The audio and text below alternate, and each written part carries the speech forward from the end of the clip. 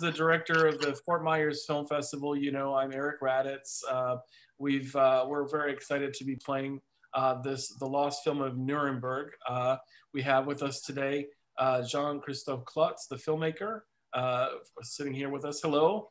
Hello. And we have with us KC Schulberg, writer, director, producer. Hello, KC.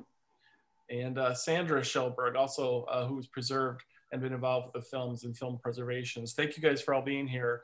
Uh, and I may just want you guys to kind of give a brief introduction onto your involvement with this film, uh, since if I tried to do it, I know I wouldn't get it perfect, but maybe we'll start with uh, Jean-Christophe. Uh, uh, tell us a little bit about this film and how you got into uh, making it. Sure. Um, actually, I've been a close friend to Sandra and KC as uh, our fathers and mothers were. Uh, we've been friends for uh, maybe that's the second generation.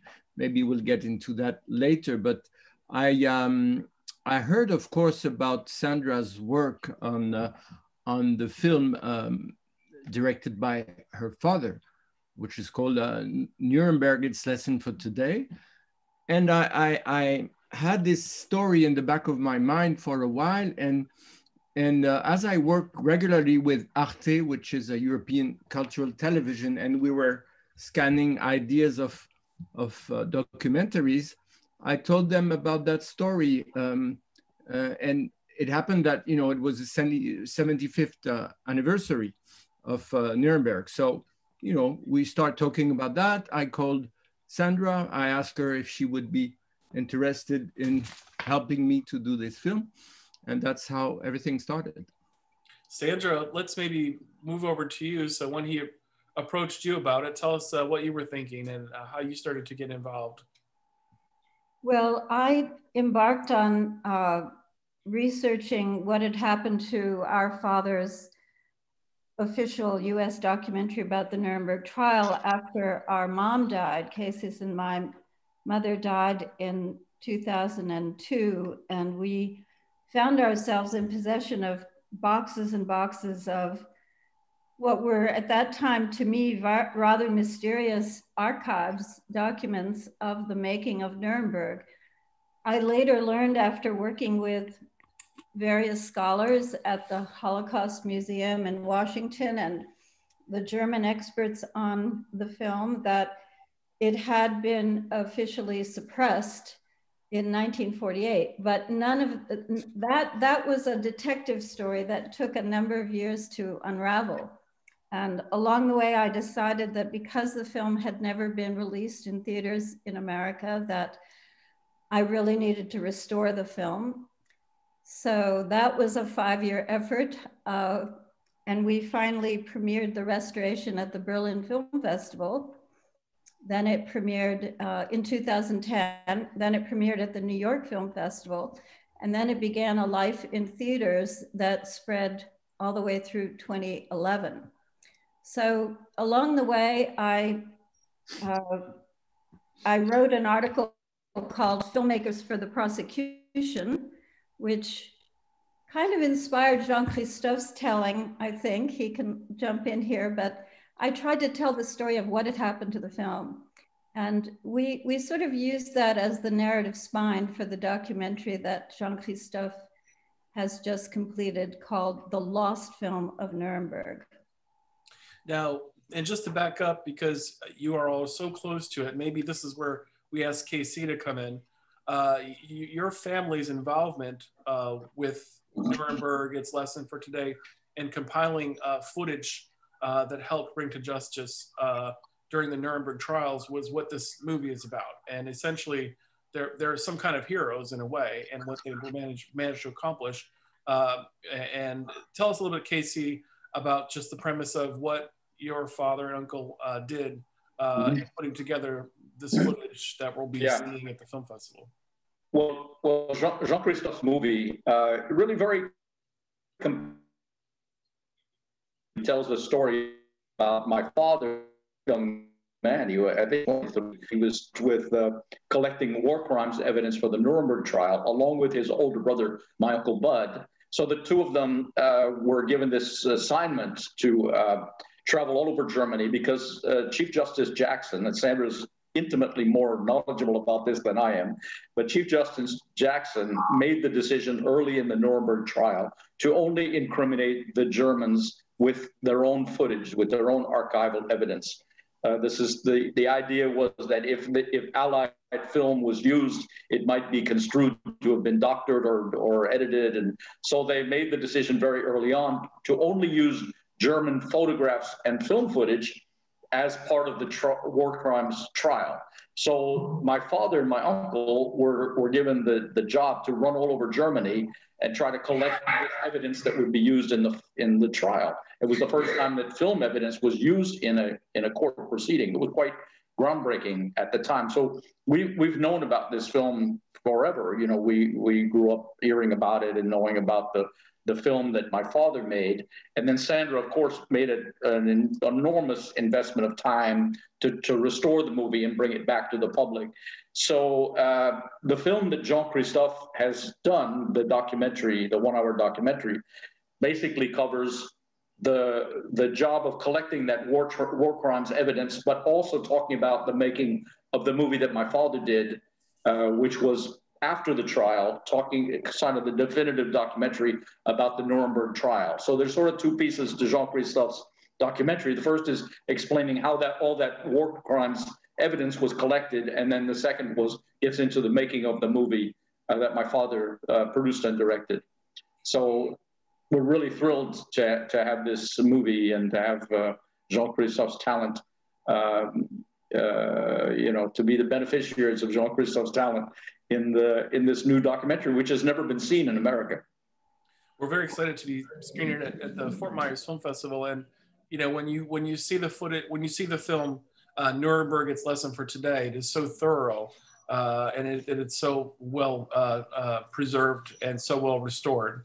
Uh, and, but now, when we see this lost film of Nuremberg, the documentary by Jean Christophe, uh, we're seeing another side of it that adds so much more to it. Uh, just the work that went into uh, compiling all the footage. What was the, what was it important for you, Jean Christophe, to uh, make sure you you gave uh, uh, a focus to with this film that we that we didn't see in the film from Nuremberg? Its lesson for today, but in your film, what, what was important for you to find focus to, or something along those lines?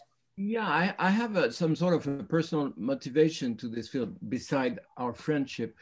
Uh, it's that I've been working for a long time as a, as a journalist, uh, as a cameraman, and I've been covering several conflicts, uh, you know, in the last uh, 25 years or so.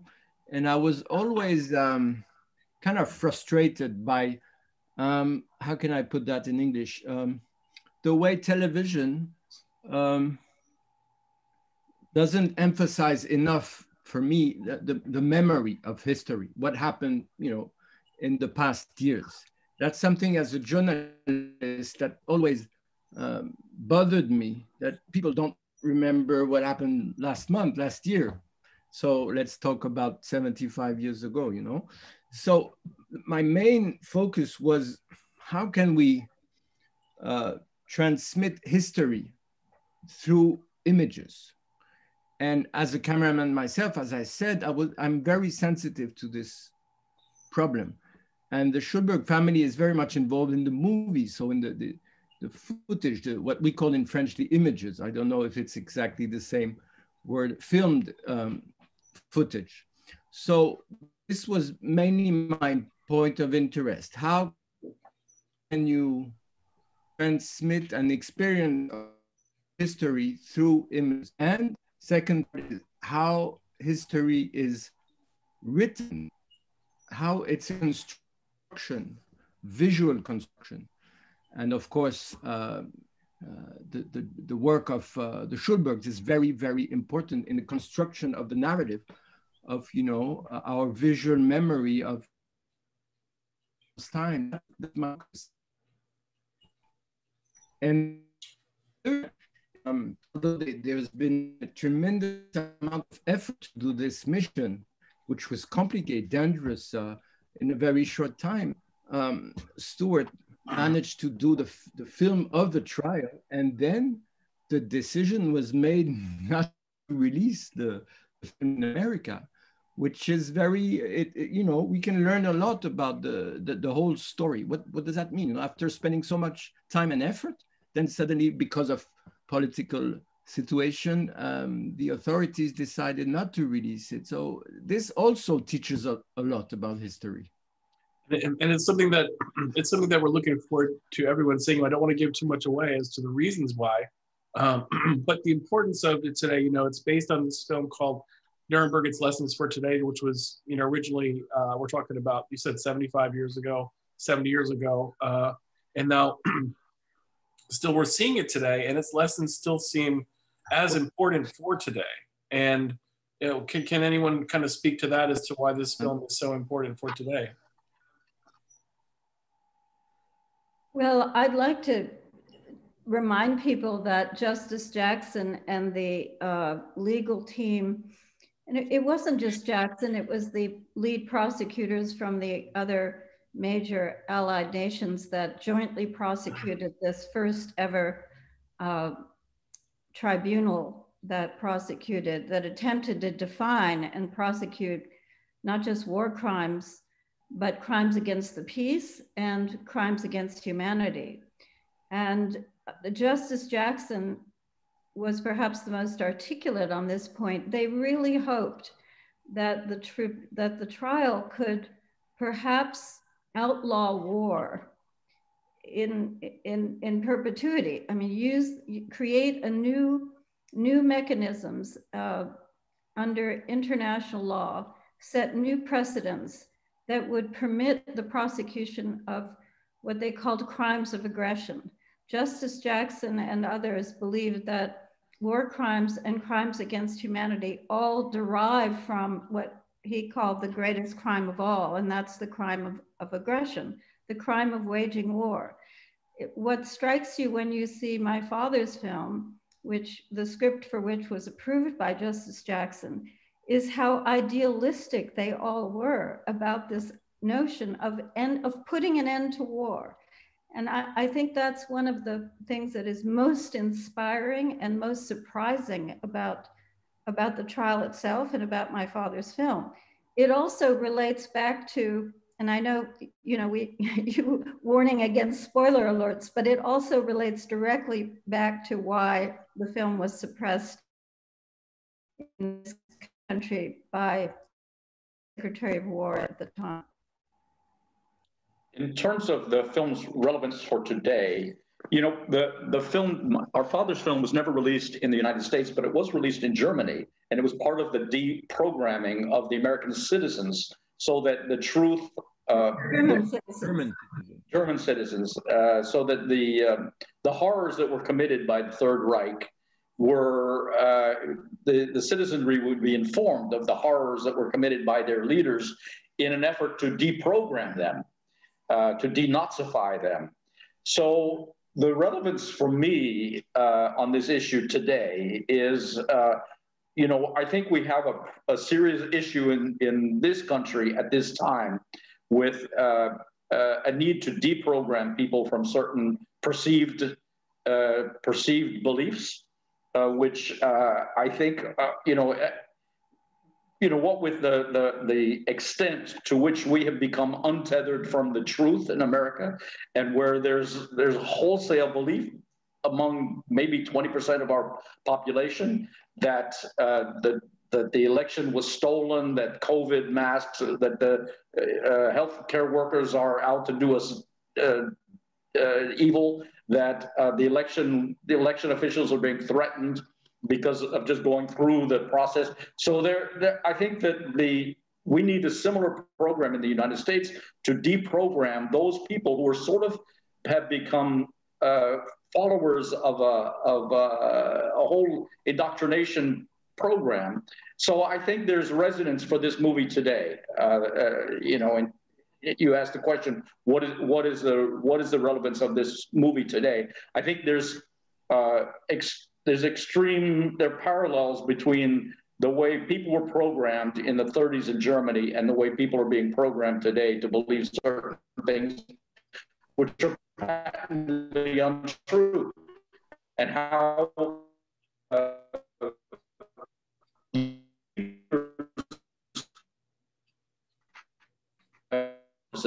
so I, th- I, think that I think if, if we can drive that point across, uh, maybe during the panel discussion at your festival, I think we'll be doing the community a service. That's awesome. you know, once again, we're if you're just uh, kind of tuning in, we're sitting here uh, with the uh, filmmakers and uh, crew of the Lost Film of Nuremberg playing at the 2021 Fort Myers Film Festival. Uh, we are taking a good look at this film, and as mentioned, we're going to have a panel.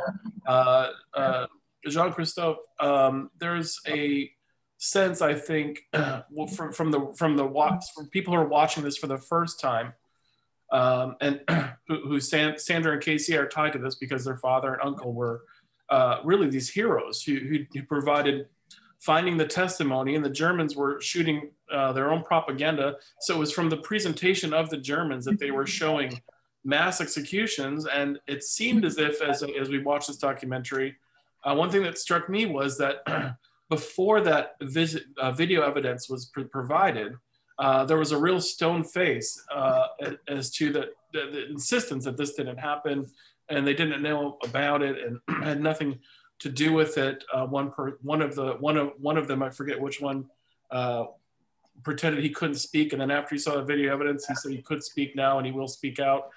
Uh, tell me the significance of the video, the videos that Stuart and Budd uh, provided for that testimony, the importance that that was to to bring to justice uh, those those who were involved. Well, people have to understand that uh, the Nuremberg trial was a, a, a big um, how would you say that? A, a, very big media encounter also. It was uh, really an, opportu- an opportunity to to show the world what happened and how the americans and the allies also were trying to to bring these people to to justice. So the fact that this footage was screened at the nuremberg trial made a huge publicity to to to these uh, this footage.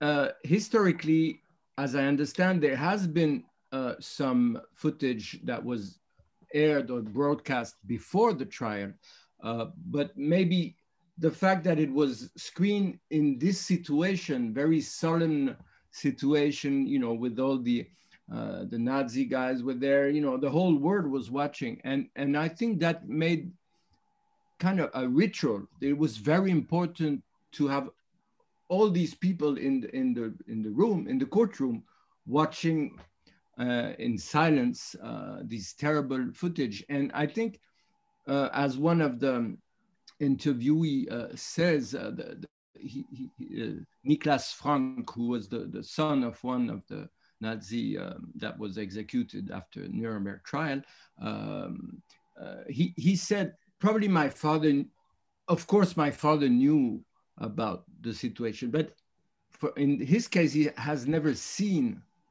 this footage. So the fact to to watch it and to watch it in that situation from the you know the bench of the uh, the comment on dit les accusés les the, the, the, prosecuted Nazis.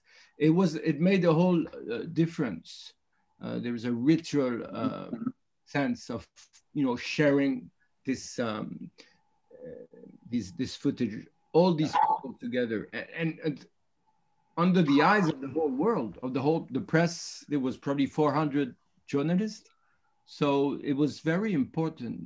I mean, that, that may be another resonance for today because the, what Jean Christophe was referring to earlier about the the uh, visual recording or images recording for dissemination and for information. I mean, that was the first time that film was ever used as evidence in a court trial. And we know the impact of visual evidence. The Selma, the crossing of the Selma Bridge with John Lewis and and uh, uh, that that was filmed, and that's that got people's attention because th- that kind of abuse, that kind of cruelty, had really never been seen by the American populace. And within years, the Voting Rights Act was uh, was uh, was voted on, was implemented and voted on because partly because people for the first time saw visually and viscerally they saw the the evidence of the of the horrors. And the same thing is true with police cameras. You know, people, you know, blacks have been dying in this country for decades, basically anonymously. And because we now have police police have cameras on their chests, and more of them are being recorded either by the police you know police cameras or by citizens on the street who have a who have one of these and and and suddenly this visual imagery is helping to to to bring about more social justice so that's an, another interesting aspect of that of how that filmed evidence was used in a trial and how that helped move public opinion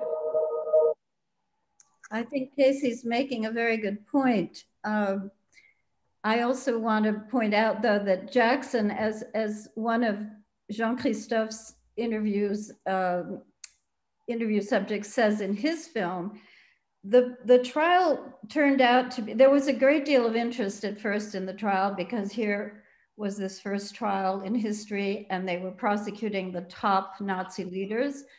However, uh, it quickly became a very dull affair because Jackson uh, believed in, as KC said, using the Nazis' own documents to incriminate them. So there were just reams and reams and reams and reams of paper, some of which was just read into the record.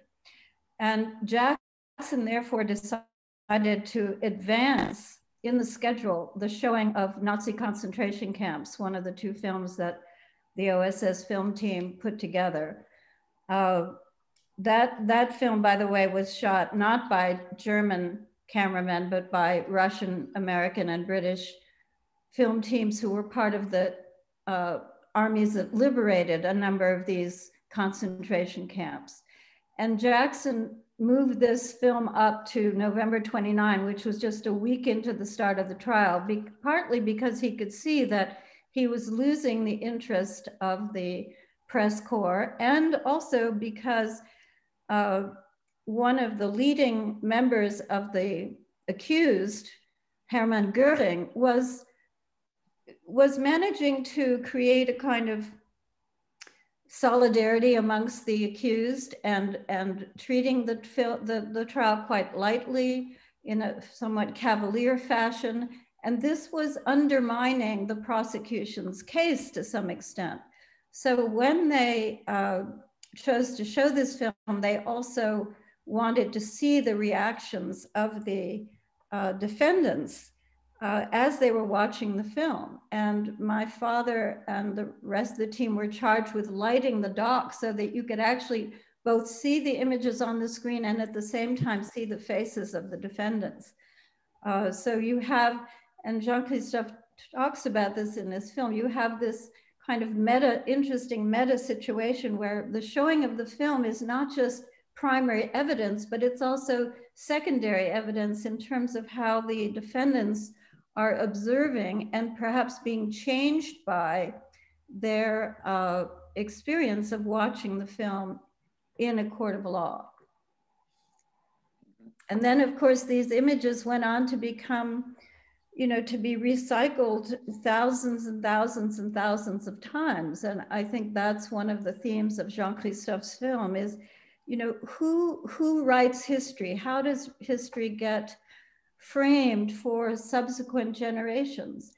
There were very, very few people who could be in that courtroom and very little actually was filmed in the courtroom.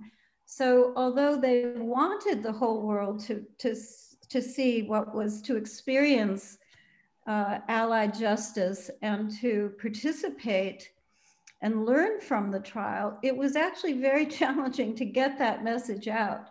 And I, I, think that's one of the saddest ironies of this whole situation that, you know, the War Department's film, directed by Stuart Schulberg, never did make it out, except as, as KC said, in, in, in Germany. And there it was felt that it did have some impact on German audiences? You know, here, here we are um, 75 years later, uh, and it's as significant uh, today as, as it's ever been. And this documentary by uh, John Christophe uh, Klotz, uh, The Lost Film of Nuremberg, uh, will be played here in the United States for the first time in Fort Myers Film Festival, May 12th through 16th. Uh, we're, we'll be happy to have, I know at least KC will be there since you're a Naples uh, resident. So we're looking forward to have you there. And maybe we'll do uh, some more interactive uh, Zoom calls uh, during the festival. Uh, thank you so much, Sandra Schulberg, KC Schulberg, and John Christophe Klotz. Any final thoughts that maybe I didn't get around to that you want to say uh, that, that we didn't get to?